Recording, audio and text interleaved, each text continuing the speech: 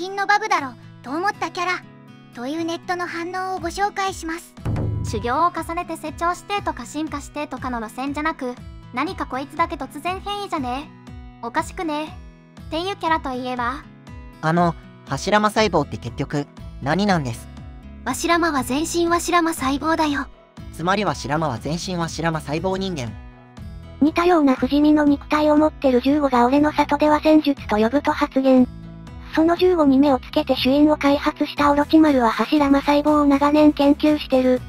綱での創造再生を見たマダラがワシラマと同じ術と分析。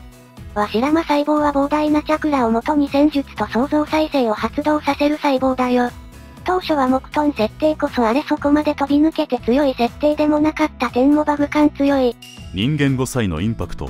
ワンピースならマムだな両親は普通柱間もビッグマムも戦闘力なら上がいるんだけど生物としての意味不明度で言ったらその上の連中より意味わからんって存在だよな。ある意味でこの子もかなバグったり溶けたりするしペンが切れたのをコップ拾い上げてカバーするのしびれたなはいこの人たちはねワンパンマンの埼玉。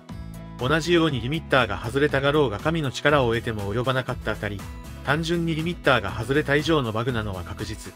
ヘルク覚醒者の中でも別格の異常な強さ。そしてどんな状況でも新世界の声を跳ね返し続けた精神力の持ち主アリシアやバミリオの声に救われたシーンもあるとはいえ。大の大冒険のヒュンケル。この後ベギラゴンを食らい自爆手前の大技を使っても死なずに普通に戦い続けました。外伝では子供なのに体当たりで仮のかかった扉を破壊してる。ワールドトリガーの東さんこの漫画精神年齢バグってるキャラ多いけど特におかしいのがこの人わあ鳥ならこっちだろう。見ろこのサイドエフェクトでも再現不可能な超技術。ボーダーのスナイパーは東派と悟り県の2つに分かれてるからな。その画像のはギリ理解できる。アクロバティックツインスナイプはちょっと意味わからない。初登場時25歳おっさんじゃんわら今この老成鳥でまだ25歳呪力なんかねえよ。うるせえよ。黙れよ。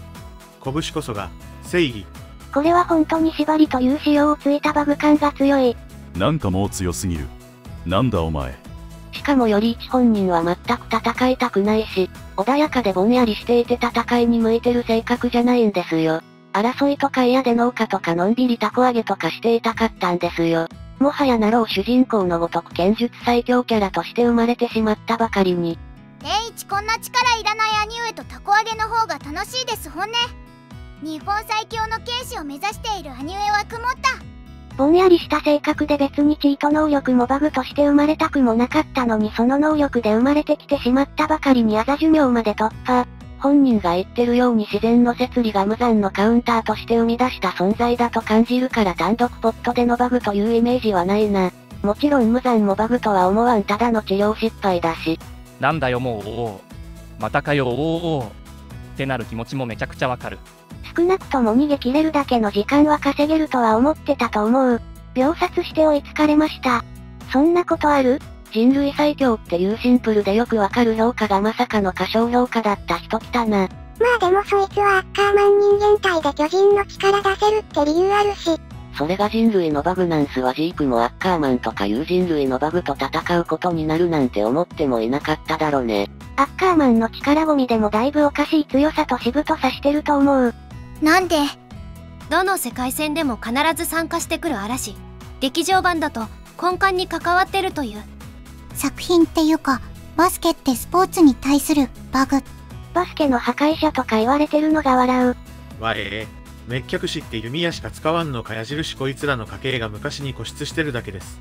それじゃあ、帝国側が使ってる地層は新しい技術なのか矢印血層は滅却師の基本戦術でこいつの家系でも使われてます。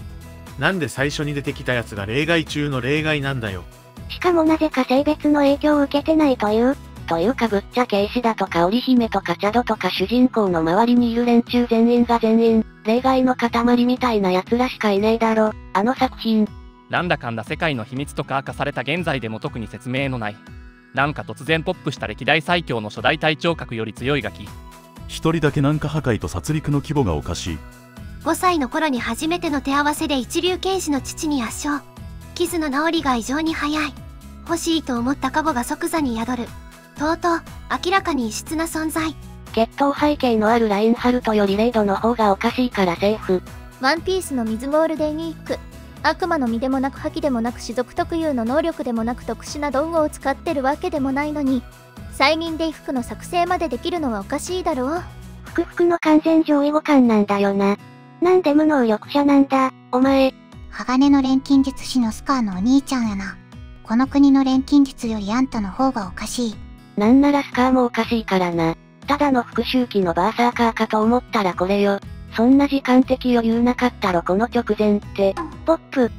バーン様が情けない声出すくらい動揺するほどのことをほぼ MP0 の状態でやれとかどういうこと？を捨て頃でファクター相手に完封勝利マニュアル操作のあるまでマキナの腕を狙撃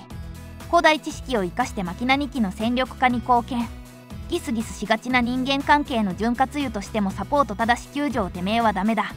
寺生まれってすげえ体強化と最強の目立てで作中のウゾウムゾウツネを圧倒した大相当。腹と目に傷を負ってようやく戦いになるのやばくないジョジョ世界のバグジョースター化の人間もびっくりだよこの小学生にはバッターのノクレア人間の殺し屋でありながら不死者や殺人鬼や戦闘用のホムンクルスが束になっても勝てない化け物的な強さ。なお本人は努力で強くなったと自負しており天才や神に暴れた的な言葉は褒める意味であっても不機嫌になる。ファンタジー世界の住人にもはやファンタジーだろ。それと言わせたほどの筋力の持ち主。相手側がチートすぎる魔法を使ってきてるのに、なんでそれを全部筋肉で解決してるの？神楽鉢の芝さん戦闘描写少ないけど無制限で長距離移動可能な瞬間移動能力。さざ波下の3人トップを圧倒。敵を掴んで空中で放り投げれる。で相当やってるイメージ。開祖からして次元の違うと言わしめた上土地神クラスを手玉に取れて歴代正統継承者の中でもずば抜けてカラス森から寵愛されてる主人公の最終形態すら足元にも及ばないのは何なんだよ。こんだけ力あって正統継承者じゃないのおかしいだろ。正統継承者の基準がカラス森中心丸2期にいられるかどうかなので、どんなに力を持っていてもお殿様が好きじゃなければ封印は出ない。なのでこの人や正森が正統継承者じゃないのはむしろ納得の理由だった。同じ作品でバグキャラみたいなやつだと扇七郎という姫かな。七郎は扇家の正統継承者で歴代最強の風使い。存在するだけで風を操れる真の自然支配系能力者。圧倒的なスピードと攻撃性能の高さで裏界の最高幹部や土地神も瞬殺できる。竜姫は最強クラスのあやかし混じりで巨大な竜に変化し雷を操れる。最高位の土地神級の力を有し雷撃による広範囲の殲滅が可能。七郎の風と合わせて広範囲に大嵐を発生させることもできる。総水討伐が失敗した場合は七郎と全力攻撃で八佐島の地を滅するつもりだった。呪術のバグワークだとダントツこいつでしょ多分作中でもトップクラスに白色だろう検索にこれ言わせてるのすごいよ。体能力おかしい坂で世界でですら人間なのかどうかも怪しい人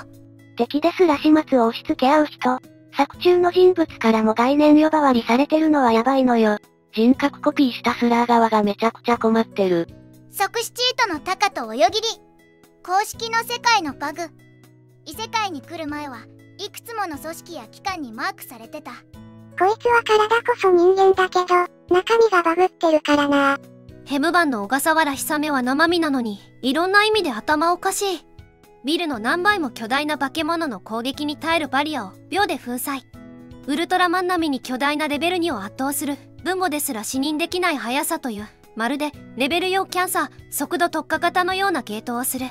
ギャングを壊滅させた殺し屋を秒殺した処刑人を目をつぶった状態で圧倒できるの本当にデタラメすぎて草。逃げ若としても史実としてもバグみたいな人。お前ほんとわけわからん。東京グールのバグキャラあげようかと思ったけどそれらしき名前が出てこなかったこれはリヴァイ兵長。ジークの自爆で負傷してなきゃずっと味方ない最強を維持してたしアッカーマンだからでは片付かないくらい強すぎる。フリーレンとパーティ組んでる人間連中特にスタルク推理漫画の中で一人アクション漫画してる男。この人出る作品間違えてない？それは作者にも言われてるから。他にも起きたともう一人出る漫画を間違えたキャラがいるらしい。どんな調教も改造も気合で乗り越えてくるし。戦闘力もなんかこう作品通しておかしいし。細胞が人格と人相を侵食してくるワシラマ細胞が慎み深く見える仕様の全体的にバグの塊みたいな大魔人の代名詞何度も時間を巻き戻しとか単独で6人相手に無双したりとか1人だけやってることが現実の枠超えてぶっ飛んでる。それなのに他のキャラと比べると明かされた経歴はかなり控えめで天才というかもうバグの域まで入ってそうな女。アムロペイ。そもそもガチの戦争を何年もしてるのに全盛期と呼ばれる時代があることがおかしい。時期ごとに比べられるほど長く携わってるってことだし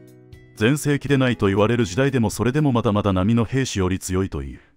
ガンダム主人公の中でもこの人の技術強さは異質に感じて怖い。柔道も結構バグってるんだけど初代と比べるとな。マージン探偵の拝みネウロのファイアチェイジや。マジンが実在する世界で孤独な人間の脳を揺らす歌が歌えるだけのただの人間。最終的に孤独でない人間の脳も揺らせるようになったけど人間の範疇。ジャティス・ドファンラスボス含めいろんな相手の思惑をたった一人で覆したやべえやつ。ヘルシングだとこの4人。この感じだと10は分からんけど少なくともシノカは発動してるのに全員生存した上で勝ってる。オールマイトさん自分が象徴になるというメンタル努力を続けたフィジカル個性との相性に親しみやすさ。全てを兼ね備えたナンバー1ヒーローである。そりゃエンデバーさんも脳を焼かれる。百科ののこの人ヒロインが大なり小なりやべえやつばっかなのに彼女らを抑えてぶっちぎりのやべえやつで善人の彼氏とかいうバグ。大としてらサブロータ。寿司を題材にした料理漫画のキャラクター。画像の場面の後で電車に引かれても1日で寿司を握れるまで回復。破面の中のバグ疑惑あるやつあの回想シーンはなんだなんだ暗殺教室はバグ枠いろいろいるけど個人的にぶっちぎりは千葉だと思ってる渚とか千野とかは出生とか環境とか描写されているんだがこいつは本当に何なんだよ。宇宙の塵になっても蘇ってくる男。変身機能を破壊されて宇宙に放り出されたのに太陽エネルギーを吸収してカワーッと復活した。進撃のバグ枠はグリシャでしょ。なんで一人で壁にたどり着いてるの？ディアボロ父親は死亡しその数年後に一人も男性がいない刑務所で突然母親が妊娠して誕生する二重人格で魂の移動ができたりスタンドを2つ持っていたりそのスタンドが時間や運命を消し飛ばすものだったりととにかくバグみたいな存在。運営本の中の人あのこっちが想定してない敗北条件が勝手に成立してるんですけど？特に理由もなく第2世代と第3世代の能力が使える人。シンテニスの王子様これの50秒から出てるでかすぎる人。モビルスーツみたいだな今回は以上です。ご視聴ありがとうございました。じゃあ元気よく挨拶しましょう。チャンネル登録お願いします